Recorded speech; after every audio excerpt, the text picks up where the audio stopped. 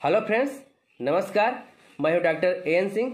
दोस्तों, मेरे चैनल में आप सभी का स्वागत है। दोस्तों, चलिए आज मैं आप लोग को टेस्टेस्टोरान हार्मोन्स के बारे में बताऊँगा। टेस्टेस्टोरान हार्मोन्स होता क्या है? टेस्टेस्टोरान हार्मोन्स पुरुषों में पाए जाने वाला यह मेल हार्मोन्स होता है। यह जो पुरुषों का मुख्य हार्मोन्स होता है। अगर इसकी कमी है पुरुषों में तो समझिए कि उसके अंदर बहुत सारी कमियाँ दिखती है। जिस पुरुष में कमी रहेगी, वो पूर्ण रूप से उसके अंदर न तो पौरुषता रहती है, ना ही वो पूर्ण रूप से पुरुष दिखता है। उसमें बहुत सारी कमियाँ होती हैं, दिखती भी हैं। चलिए, आज मैं अपने इस वीडियो में पूरा डिटेल बताऊँगा। इसको जानने से पहले, मेरा यह चैनल अगर आपने सब्सक्राइब नहीं किया तो सबसे पहले सब्सक्राइब कर लीजिए और बेल आइकन को ज़रूर दबा दीजिएगा ताकि मेरा कोई भी वीडियो बनता है तो आप तक सबसे पहले पहुँचे।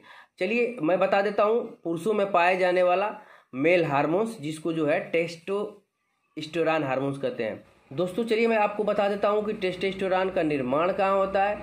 टेस्टेस्टोरान का निर्माण जो होता है, पुरुष में जो टेस्टिस होता है, टेस्टिकुलर होता है, उसमें पाया जाता है, जिसे हम अंडकोश कहते हैं। उसके अंदर जो है टेस्टेस्टोरान हार्मोन्स का निर्माण होता है, उसी में पाया जाता है। और इसी पे मनुष्य का सारा चीज़ डिपेंड होता है जिसके, जिससे कि उस मनुष्य में दिखता है कि वह पुरुष है। जैसे मैं बता दूँ, सबसे मेन इम्पोर्टेंट काम करता है सेक्स पे, या सेक्स हार्मोन्स भी कहा जाता है पुरुषों में। अगर इसकी कमी है तो पुरुषों में जो है, बहुत ज़्यादा नपुंसकता भी हो जाती है वीर्य की कमी होने लगती है सेक्सुअल डेबिलिटी होने लगती है, कमज़ोरी होने लगती है।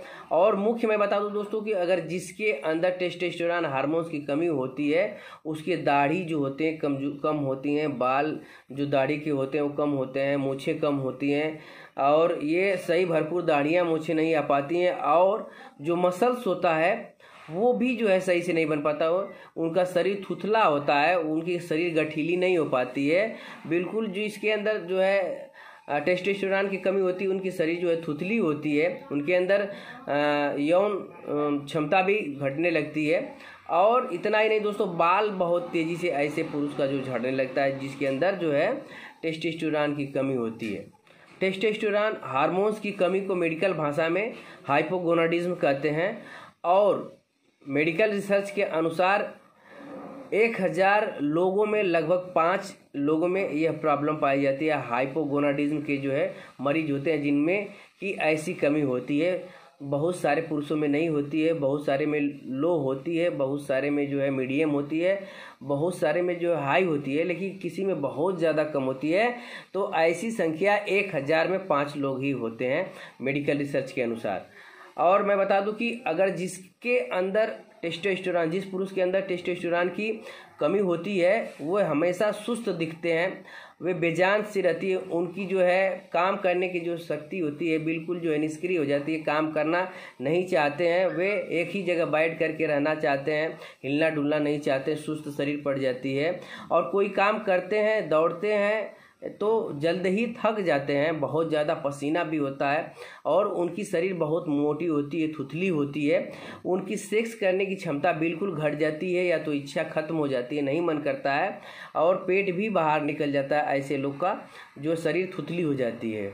ऐसे लोगों का जो है, हड्डियाँ जो है कमज़ोर हो जाता है थोड़ा सा भी चोट लगने पर जो है, हड्डियाँ फ्रैक्चर हो जाती हैं क्योंकि हड्डियाँ बिल्कुल कमज़ोर हो जाती हैं, पतली भी हो जाती हैं। इसके कारण बहुत तेज़ी से फ्रैक्चर होने का डर रहता है। अगर ऐसे लोग होते हैं जिसके अंदर टेस्टोस्टेरोन की कमी होती है, हर तरह से जो है वे कमज़ोर दिखते हैं। चलिए मैं तो आपको बता दिया कि क्या क्या लक्षण होते हैं, लेकिन मैंने बताया कि हाइपोगोनाडिज्म के कितने कारण होते हैं। आपको मैं इस वीडियो में बता दे रहा हूँ। हाइपोगोनाडिज्म के सबसे पहला कारण है अभि, अभिक्षित जो होता है टेस्टिकल्स जो होता है, जो अंडकोश होता है, छोटा ही रह जाता है, जिसका बहुत ज़्यादा बढ़ता नहीं है। तो ऐसे में जो है, उसमें टेस्टिस में जो है हार्मोन्स का निर्माण नहीं हो पाता है, जिससे कि शुक्राणु भी कम बनते हैं। तो इस कारण से भी जो है प्रॉब्लम होती है, जिसका अंडकोश छोटा होता है, उनके अंदर नपुंसकता आ सकती है, या हार्मोन सही से नहीं बन पाता है, जिसके कारण जो है, शुक्राणु नहीं बन पाते हैं। इसके कारण जो है, नपुंसकता आ जाती है। दूसरा होता है दोस्तों की हीमोक्रोमटासिस कहते हैं जिसको। ये एक तरह से बहुत ज़्यादा किसी के अंदर ब्लड बन जाता है। हीमोक्रोमटासिस के कारण भी जो होता है, जब ब्लड ज़्यादा बन जाता है तो उसमें टेस्टिस के अंदर जो है टेस्टोस्टेरोन की कमी होने लगती है। और तीसरा कारण है, किसी कारण एक्सीडेंट के कारण या किसी खेल के कारण जब टेस्टिस में चोट लग जाता है, इसके कारण भी टेस्टिस्कुलर में जो है तो उसमें जो है टेस्टोस्टेरोन का निर्माण सही से नहीं हो पाता है। और तीसरा, चौथा मैं बता दूँ कि कैंसर है, किसी को हुआ है, उस समय अगर कीमोथेरेपी की जाती है, कीमो चढ़ाया जाता है, उसके कारण बहुत तेज़ी से जो है शुक्राणु भी घट जाते हैं और टेस्टेस्टोरान का जो होता है वो लेवल बहुत घट जाता है, नपुंसकता आ जाती है उस समय।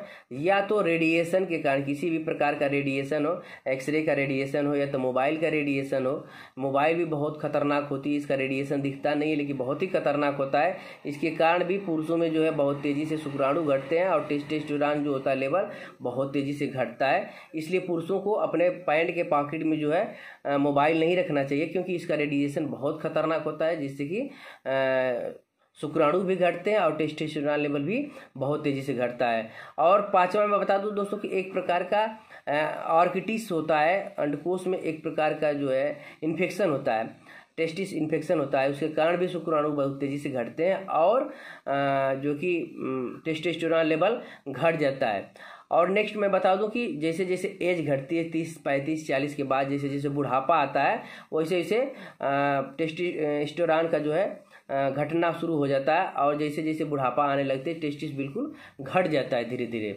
और नेट में नेक्स्ट मैं बता दूँ कि पिट्यूटरी ग्लैंड जो होता है हमारे ब्रेन में पिट्यूटरी और हाइपोथैलमस यहाँ से सेक्रेशन अगर नहीं होता है तो टेस्टेस्टोरान का निर्माण नहीं होता है। इसलिए पिट्यूटरी ग्लैंड में जब सेक्रेशन होता है हार्मोन्स का तो हमारे जो है थायराइड ग्लैंड में पहुँचता है। यहाँ से पहुँच करके जो है टेस्टोस्टेरोन का निर्माण करता है हमारे टेस्टिस में पहुँच करके। और नेक्स्ट मैं बता दूँ एच अगर किसी को हुआ है, इस कारण से जो है उसकी प्रतिरोधक क्षमता घट जाती है, जिसके कारण जो है टेस्टोस्टेरोन लेवल घट जाता है। किसी कारण जो है, अगर आपने बहुत ज़्यादा दवा कर लिया हो, किसी बीमारी में बहुत ज़्यादा दवा चला दिया हो तो उसके कारण भी जो है टेस्टोस्टेरोन लेवल घटने लगता है। और बहुत ज़्यादा अगर आपके शरीर की मोटापा है, मोटाई है ओबिसिटी है, तब भी जो है टेस्टेस्टेरोन लेवल घटता है, या तो अंडकोशों में बहुत से लोगों की सूजन हो जाता है, पानी भर जाता है, ऐसे ऐसे समय में भी जो है टेस्टोस्टेरोन लेवल घट जाता है या तो बहुत से लोग जो स्ट्रेस में रहते हैं, तनाव में रहते हैं, ऐसे लोगों का भी टेस्टोस्टेरोन लेवल घट जाता है। तो मैंने बता दिया किन किन कारणों से यह घटता है और टेस्टोस्टेरोन लेवल हमें कितना इंपॉर्टेंट है अपने इस वीडियो में। अगर वीडियो अच्छा लगा तो ज़्यादा से ज़्यादा शेयर कर दीजिएगा। सब्सक्राइब करना ना भूलिएगा। नमस्कार।